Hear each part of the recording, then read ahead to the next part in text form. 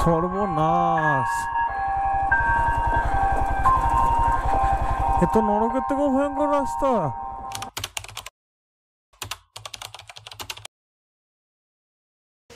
Hello everyone welcome to the channel good morning good morning from Sylvan homestay Kurseong so কালকে দেখেছ তোমরা ওই নরক রাস্তা দিয়ে এসছি এসে পৌঁছেছি হোমস্টে তো একটা মেন সমস্যা হচ্ছে আমার যে গাড়িটা রেন্ট নিয়েছিলাম, তার চেঞ্জ পকেটটা গেছে খারাপ হয়ে। তো ওনাদেরকে ফোন করলাম, ওনারা বললেন যে চেঞ্জ পকেটটা তুমি চেঞ্জ করি নাও, পয়সা আমি দিয়ে দেবো।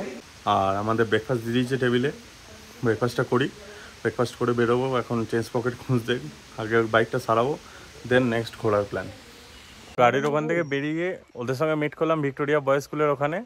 সেখানে ভিক্টোরিয়া বয়েজ স্কুলের ভেতর থেকে একটু ঘুরে এলাম three of the coed four থেকে कोएड स्कूल है बॉयज स्कूल थोड़ा अंदर है ना গাড়ি চালাচ্ছে আমি পিছনে বসে আছি তো আমরা এখন আবার ডাউন ডেথ রোড ওখানে যাবো তো আমি সামনে ফোরুইলা থেকে ফলো করতে করতে যাচ্ছি চলো Desire burning like a fire. What you gonna do when it crumbles down? Watch it get higher, down to the wire. এখন আমরা আছি ডেথ রোডে তো এটা হচ্ছে ডেথ রোডটা পুরোটা। আর এখানে মানে যথেষ্ট ভয়ঙ্কর একটা এলাকা, শুধু পাইন গাছ, ঘন আর কুয়াশা। তো এখানে দাঁড়িয়ে অনেকক্ষণ ধরে ফটো ভিডিও ক্লিক করা হলো। চলো দেখা যাক নেক্সট ডেস্টিনেশন কি আছে।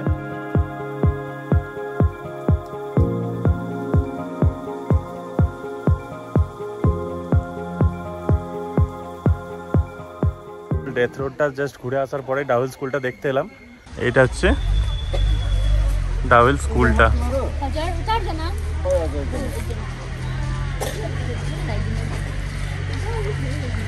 বাস এতটুকুই হচ্ছে টুরিস্টদের জন্য অ্যালাউড এর বাইরে ভিতরে আর যেতে দেয় না।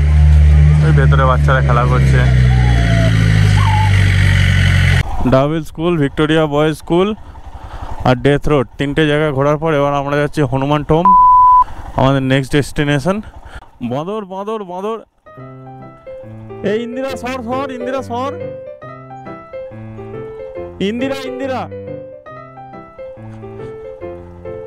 এই যে ইন্দিরা ওর বাচ্চাকে নিয়ে এখানে ঘুরছে।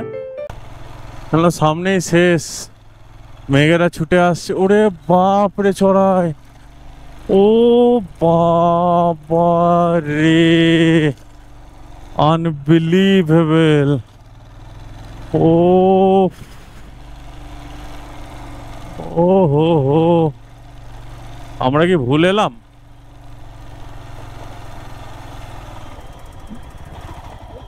নিচে যেতে হবে। বাঁদিকে গেল তো? তুই দেখেছিস?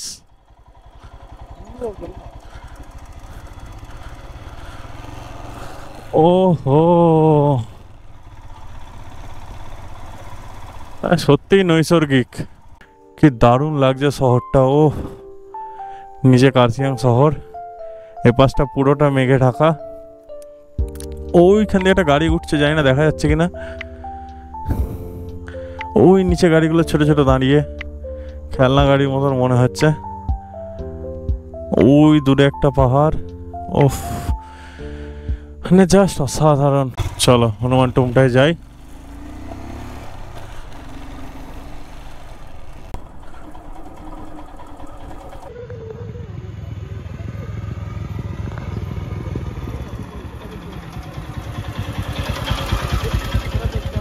হনুমানজির মূর্তিটা ঠিক এখানে।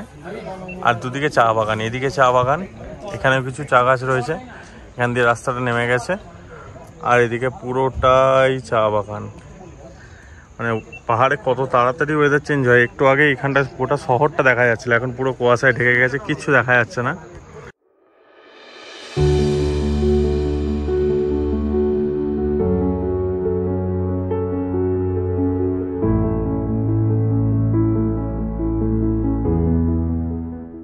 এত ডিফিকাল্টির পরেও গাড়ি খারাপ হয়ে যাওয়ার পরেও মোটামুটি ঘোরা হলো কার্সিয়াংয়ে সো আজকে সাইট সিন এখানেই শেষ। এরপর যাব হোমস্টেতে এখন লাঞ্চ করতে হবে। লাঞ্চ করা বাকি এখনও সাড়ে চারটে বেজে গেছে।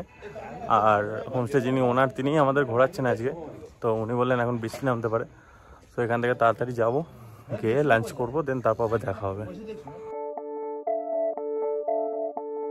জাস্ট নেচারটা একবার ফিল করো। কি ভয়ঙ্কর রাস্তা। বৃষ্টি হয়েছে ও এইদিকে নামতে হবে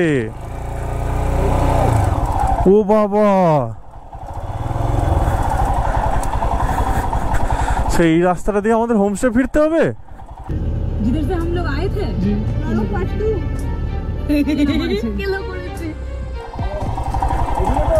সর্বনাশ এ তো নরকের থেকেও ভয়ঙ্কর রাস্তা হ্যাঁ ভাই, এখান কি করে নামাবো? ওরে সর্বনাশ। এ ভাই, উঠে বস রে, কাঁধে চাপছিস কেন? তুই তো আমার উপরে উঠে বস ও বে। এবার ডাউহিল যাওয়ার দরকার নেই, এখানেই তো ভূত দেখা যাবে।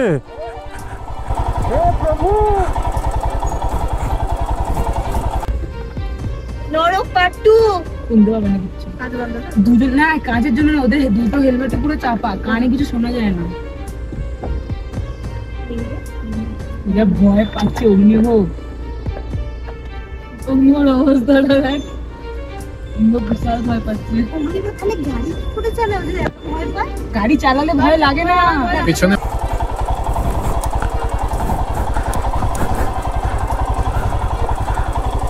এর থেকে আমি ওইখান দিয়ে চলে আসতাম।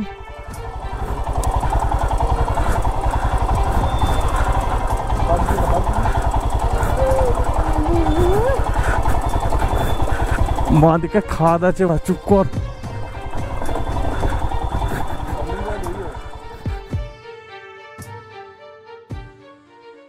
বাজে হচ্ছে সাড়ে দশটা। আমাদের ডিনার ডান। আজকে ডিনারে ছিল হচ্ছে এগ কারি আর নর্মাল রাইস তো চলো, আজকের দিনটা এখানেই শেষ। কালকে সকালের প্রথম কাজ হচ্ছে আগে বাইকটা সারাবো দেন তারপর দার্জিলিং হয়ে আমরা যাব হচ্ছে কোলাখাম। ওখানে হোমস্টে অ্যাডভান্স বুক করা আছে। তো চলো, আজকের মতন bye good night take care and stay tuned